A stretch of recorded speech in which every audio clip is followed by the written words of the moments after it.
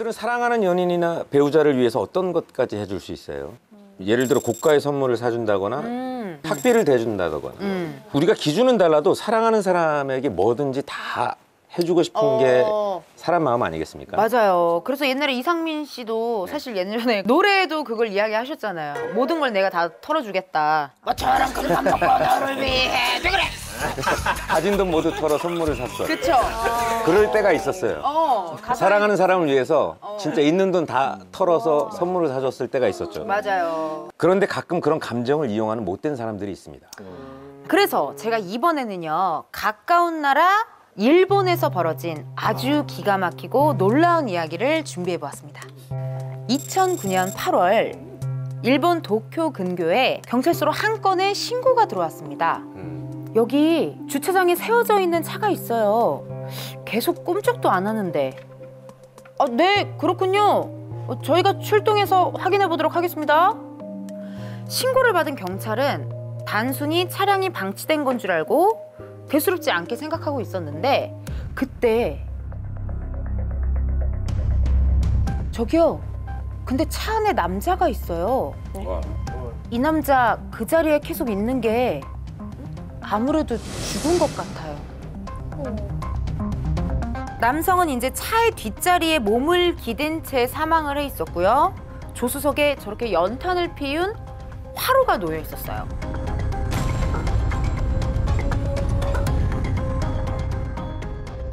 신원 확인 결과 사망한 남자는 41세 직장인 네. 오이대 요시유키였어요. 경찰 내부에서는 난리가 났고요. 음. 왜냐하면 연탄을 피운 사망 사건이 처음이 아니었기 때문이에요. 어? 인근 지역에서 연쇄적으로 연탄을 피워 사망한 남성들이 6개월 사이에 세명이나 생긴 거예요.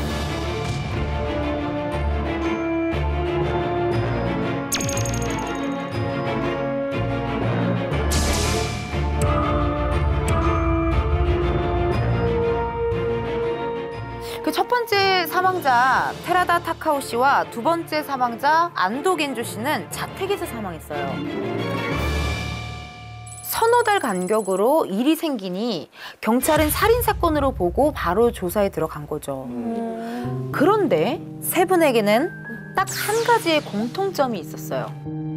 어? 유일한 연결고리는 바로바로 여성이었어요.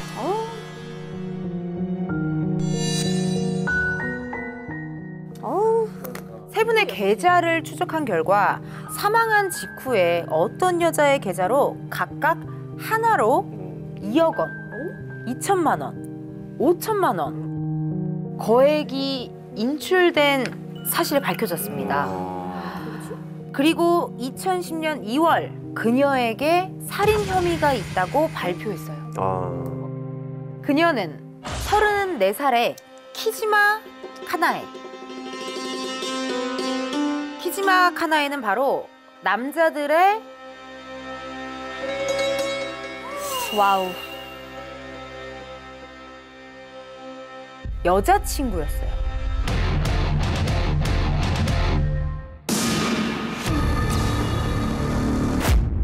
사실 경찰이 바보도 아닌데 사망하신 분들과 그렇게 가까웠던 여자에 대해서 조사를 안 했을 리가 없잖아요. 그렇죠. 여자친구로 추정되는 키지마를 조사했지만 그녀가 범인이라는 단서도 없었고 그녀의 집을 압수수색했다고 해요. 하지만 어떠한 증거도 나오지 않아서 결국 그렇게 놓아줄 수밖에 없었던 거죠. 치밀하네. 제일 가까운 사람이 제일 무섭다고 했어요. 맞아요. 그래서 혼자 살아요. 모두가 그렇진 않아요. 죄송해요. 하지만 여러분 놀라기엔 아직 이릅니다. 왜요? 더 있어. 설마 왜, 왜 또? 네 번째가 있어요? 한 명 더? 이거 지금 세 명으로 좋게요. 사실 키지마는 세 사람의 사망 사건 때문에 체포가 된 게 아니었어요. 에잉? 야 이건 진짜 또 의문이네. 살인 혐의가 밝혀진 것은 2010년 2월이었잖아요. 네. 근데 이미 4개월 전인 2009년 9월 20명의 남자에게 결혼을 빌미로 적게는 500만 원에서 많게는 1억 원까지 거액의 돈을 편취를 해서 혼인 빙자 사기죄로 체포가 된 거예요. 아 사기죄. 20명이나 속을 수 이- 있다는 게 음. 아니 참 되게 난 매력적인가? 그리고 언론에서는 정말 희대의 꽃뱀 사건이라고 난리가 났고요. 음. 상황이 이렇다 보니 자연스럽게 여론은 그녀의 외모에 대해서 집중하기 시작했어요. 근데 얼굴 진짜 궁금해요. 지금 그 여자 얼굴 너무 궁금해요. 그렇고 뭔가 성격도 되게 막 매력적인 막 그런 사람이었던 것 같아요. 남자 보호 본능을 유발케 음, 하는 유발하고. 그런 이제 외모여야 남자가 그냥 힘들지 아유 하면서 이렇게 좀 도움을 줄 수 있지 않을까. 그죠. 마침내 그녀의 사진이 공개되자 일본 열도는 정말 발칵 뒤집어졌습니다. 자, 그녀의 모습은 바로 이렇습니다. 에?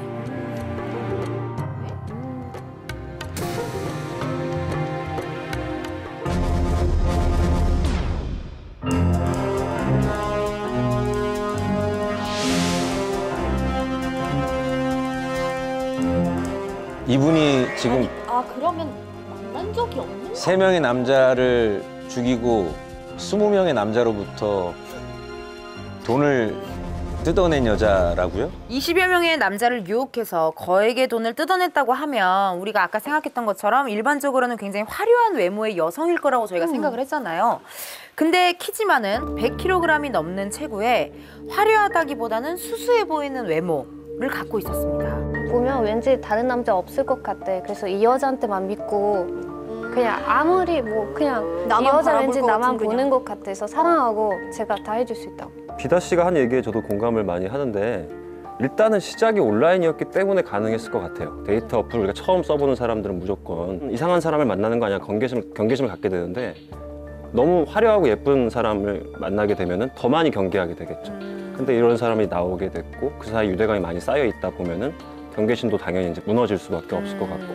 그러니까 보통 그런 사이트에 자신의 사진과 소개글을 써서 프로필을 딱 등록을 해놓고 또 관심을 갖는 사람과 연락을 막 하기 시작하잖아요. 네. 열심히 운영했던 자신의 블로그에서 그 단서를 찾을 수 오, 있었습니다. 블로그도 운영하셨구나. 모니터를 함께 보시죠. 어머. 에이 저거는 본인이 아니잖아요. 본인 맞는 것 같은데? 다 가려놨지. 뭐 머리카락밖에 안 보여요. 이게 음, 약간 맞, 맞는 것 같기도 하다. 약간 예. 자신의 일상을 저렇게 올리기도 했고요. 네. 아, 일단 고급? 고급스러워 보여. 호텔에서 숙박을 한다라는 내용의 음. 고급스러운 좋아하는데 아, 돈을 되게 많이 써야 되겠네라는 생각이 들 것 같은데 약간 그리고 본인이 만든 도시락 그쵸 본인이 만든 도시락을 게시를 한 거거든요. 나 이런 가정적인 역할도 할 수 있다. 그리고 본인에게 호감을 보이는 남성들에겐 밀당을 하지 않았던 거죠. 와. 즉 즉답 좋죠. 사실 밀당을 하지 않고 직접적으로 뭐 표현을 해- 해주면 믿음이 가기는 해요. 또 이상하게 또 그런 부분이 없지 않아 있죠. 그 앱 자체에서 만났을 때 서로가 서로를 간볼 수 있는 시스템이다 보니까 음. 그 안에서 밀당을 안 하는 거가 되게 돋보일 수 있을 것 같아요. 어, 이 사람은 어, 진심이구나 이런 느낌으로 확 올 수 있을 것 같아요. 음, 온라인으로 처음 만남을 갖다 보니 호감을 보인 남성들과 문자나 이메일을 주고 받았고요. 조금 친분이 생긴 후에는 당신에게 맛있는 식사를 만들어주고 싶다. 라는 식의 말로 편안하고 안정감을 느끼게 했고요. 그렇게 조금씩 관계가 깊어지면 굉장히 농염한 이야기도 서슴없이 던져서 남성들을 유혹했죠. 오일 마사지를 해주고 싶어요. 같이 욕조에 들어가고 싶어요.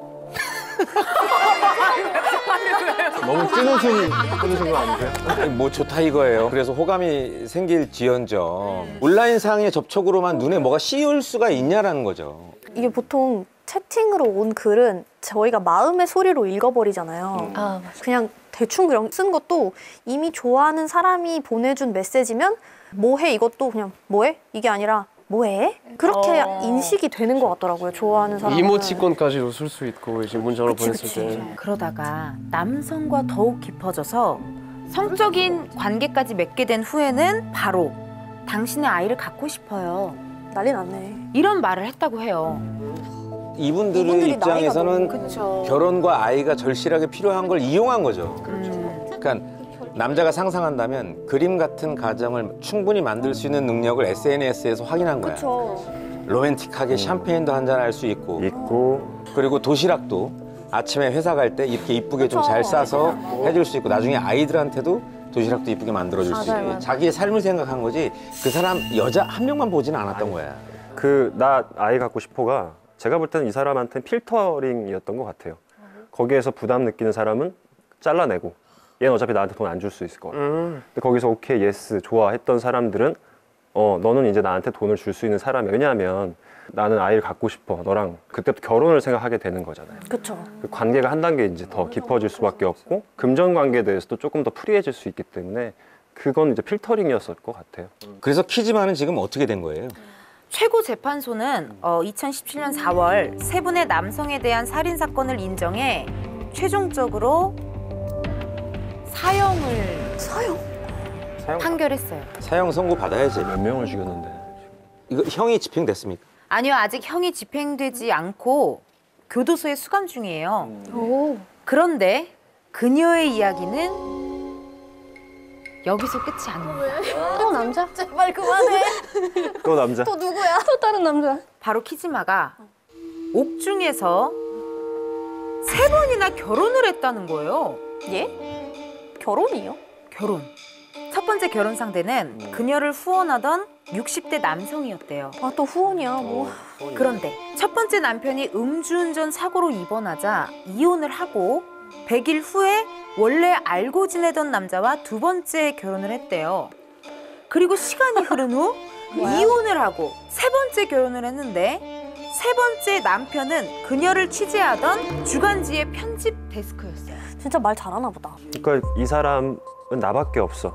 죽음을 앞두고 있는 어떻게 보면 너무너무 불쌍한 사람이기 때문에 내가 이 사람 마지막 인생을 좀 구원해주고 싶다. 아. 그걸 하면서 나 스스로 뭔가 특별해지는 것 같다. 이런 느낌을 가질 수 있는 거죠. 어. 그녀의 관종 행각은 또 있습니다. 와. 아직도 안 끝났어요? 이 여자는 한 해분으로 가야 될 것 같은데요. 그러게요. 자, 이 사람 얘기만 계속해도 네. 2014년에 자신의 이야기를 담은 자전적인 소설 예찬을 발표하기도 했고요. 소설을 읽어보면 그녀의 평소 어떤 생각을 하는지 대략적으로 짐작이 됩니다. 나는 남성에 의해 숨결을 부여받고 사고를 가지게 된다. 내가 한 것은 배금주의도 승인 욕구도 자해 행위도 아니다.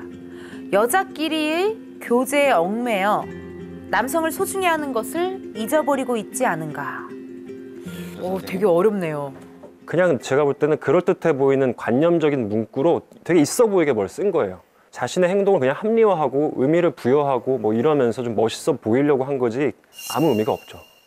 제가 보기에는 형이 집행될 때까지 어, 뭔가 그녀와 관련된 뉴스는 계속해서 나올 것 같아요. 그러네요. 네. 야, 이 사람의 관계와 마음이라는 것은 한마디로 정의를 할 수가 없다는 생각이 듭니다.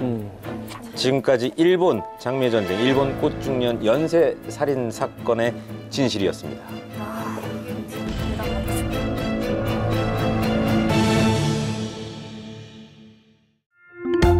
모두의 즐거움 MBC EVERYONE